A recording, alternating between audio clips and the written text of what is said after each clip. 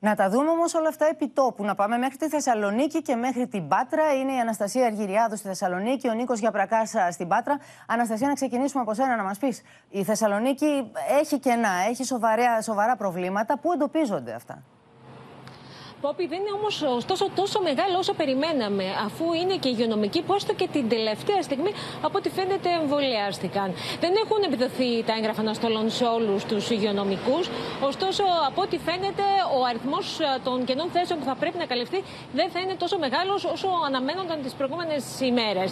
Στο νοσοκομείο ε, Παπα-Νικολάου, που είναι το μεγαλύτερο της Θεσσαλονίκης, ήδη έχουν επιδοθεί σε 154 εργαζόμενους ε, τα έγγραφα αναστολών από τους 2.000. Ενώ στο ΑΧΕΠΑ με 1.600 εργαζόμενους αναμένουν να επιδοθούν σε περίπου 80 που παραμένουν ανεμβολίαστοι. Στο Ιπποκράτιο από τους 1.800 εργαζόμενους, οι 100 είναι μέχρι στιγμής ανεμβολίαστοι. Περιμένει ο διοικητής του νοσοκομείου και την τελευταία στιγμή μήπως μειωθεί αυτός ο αριθμός. Έτσι λοιπόν σήμερα δεν έγινε κάποια επίδοση αναστολών.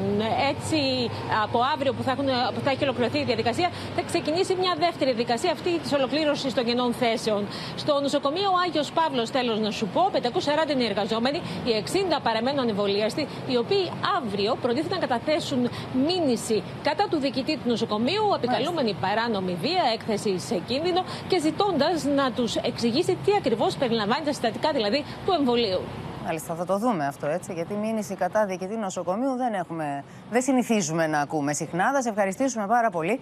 Καλή ακούγεται έτσι, όπως μας την περιέγραψε η κατάσταση στα νοσοκομεία. Δεν είναι δηλαδή τόσα πολλά τα κενά.